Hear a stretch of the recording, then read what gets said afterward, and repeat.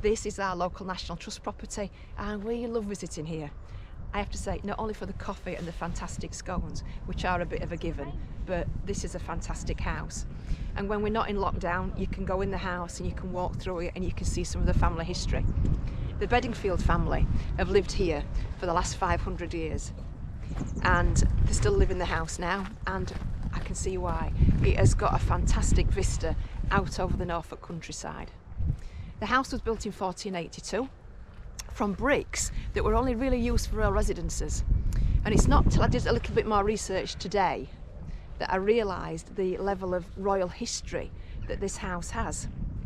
The Bedingfield family were initially loyal to Richard III during the War of the Roses and when he was defeated at the Battle of uh, Bosworth their loyalties changed to Henry VII and he visited here with his wife Elizabeth of York and also um, his mother Margaret Beaufort who was probably little known in history but was really the matriarch of the Tudor, Tudor dynasty. He then became loyal to Henry VIII and uh, the Bedingfield ancestors were responsible for imprisoning Catherine of Aragon at Kimbolton Hall in Bedfordshire, and also they escorted Elizabeth I when she was uh, when the rumor was that she was trying to overthrow Mary Tudor off the throne. And the Bedingfield family escorted Elizabeth I to the Tower of London. So this is as a, this has a rich royal history.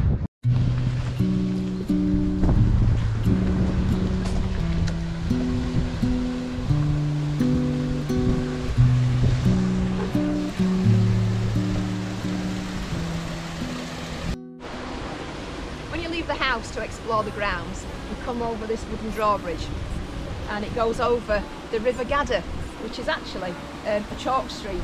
And if you look at it, it is so clear and there's so much uh, vegetation growing in it that it is absolutely uh, wonderful to see how clear and how vibrant it is. The, this was all put here uh, by one of the Lord Bedingfields.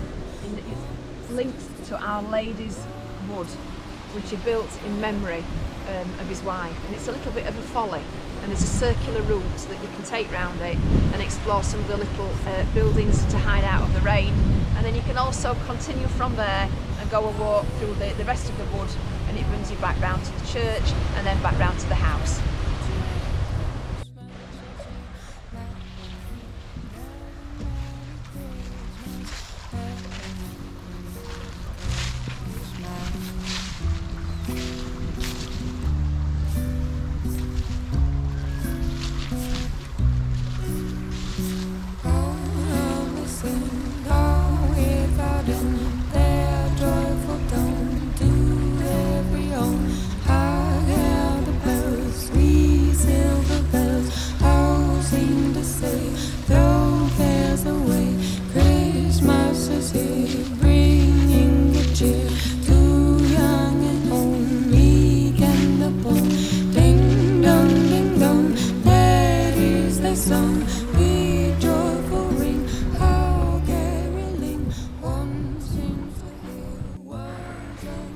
Lady's Wood was created by Sir Henry Bedingfield in memory of his late wife Margaret.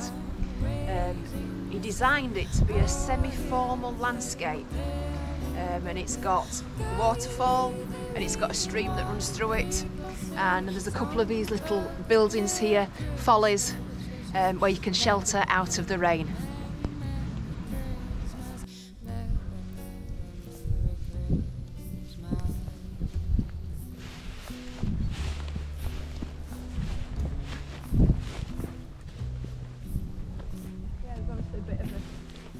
Dried up a bit now, but there could be a bit of a, a ditch or something. Or, yeah. Wow, it's obviously very wet, isn't it? Looking at the all the sort of bulrushes and everything. Well, this has definitely been different today. Well, it's the first time this has been open, isn't it? Because yeah, they just bought the yeah. extra, extra, perimeter track. An extra two miles to walk around. It's fantastic. Yeah, how wonderful. Keep an eye out for more deer then deer buzzards and warblers or something, I think it said. Not that I know what one of those looks like, but Christmas is here, bringing good cheer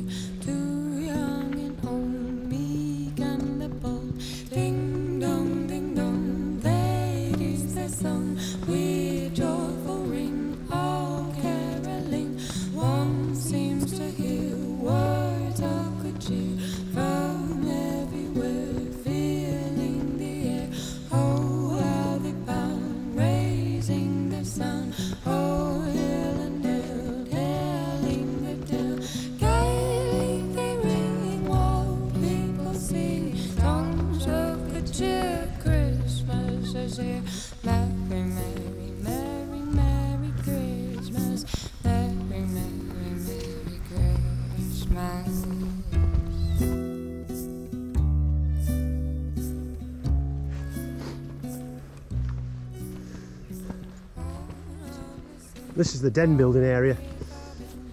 Imagine the kids having lots of fun in here.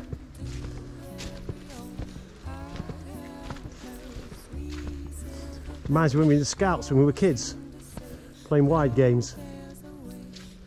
You know, the days before tablets and phones and And the only bit of real television for us was the banana splits on a Saturday morning. But I'm really showing my age now. And multicoloured swap shop, yeah.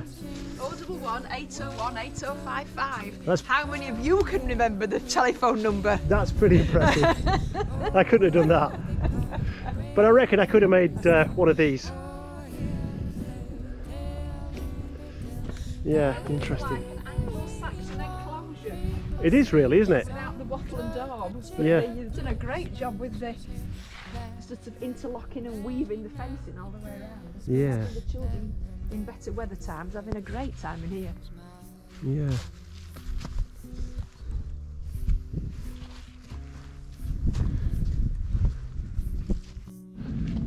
Hey babe, how pleased are you you've got Wellingtons on? Very pleased today. Otherwise, I think I would have had dirty feet and very wet feet. I think when you come into Norfolk they should hand you a pair of wellies at the border. I think you might be right. I think that's the only way to uh, to survive. Surgically removed when you leave. Yeah, yeah. It's uh, yeah. I think the best piece of advice I can give anybody: you're going to come and live in Norfolk. It's so agricultural and so outdoors. This area is the home to the largest man-made forest in uh, in the UK as well, around Thetford, which is only just literally half a mile to our right. So it's really good to be outside, but you really need your wellies.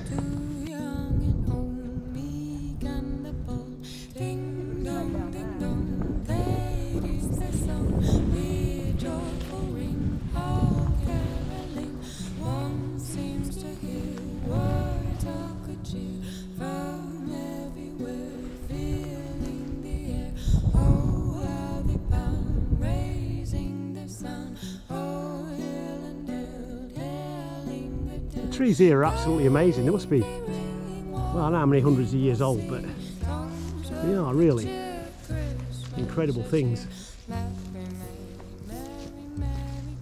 Oh, it's an oak tree. Yeah. As is the, neck, the, the one at the side of it as well, which is even more. Well, it's still got the uh, the Tom and the leaves on it, hasn't it? Yeah.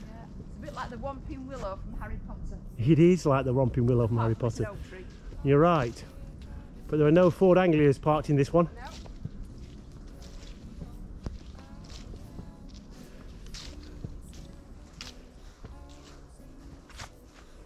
Yeah, no, this is really impressive.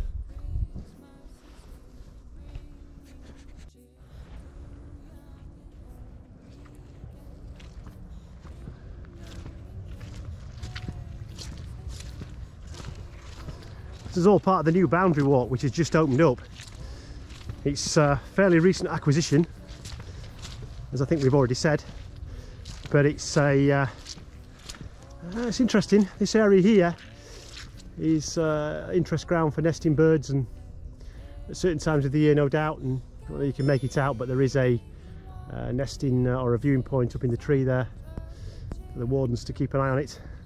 Well that's Oxburgh Hall. It's taken us about an hour to walk around, an hour and a half. Uh, it's about a four mile uh, easy uh, walk not the greatest if you've got pushchairs or, uh, or or wheelchairs or any sort of disability requirements in places. The main hall area is quite good. Once you get out on the tracks, it's quite muddy and a bit uh, with some furrows. It's quite natural, really. But nevertheless, it's an excellent way to spend an hour and a half. And we'll put all the links underneath in the uh, in the log so you can find maps to where it is and links to the National Trust website. And uh, well, we've had a good time. Four miles for us, just enough left now in the legs for it to go for a run. Uh, so we're going to crack on. Uh, have a good day.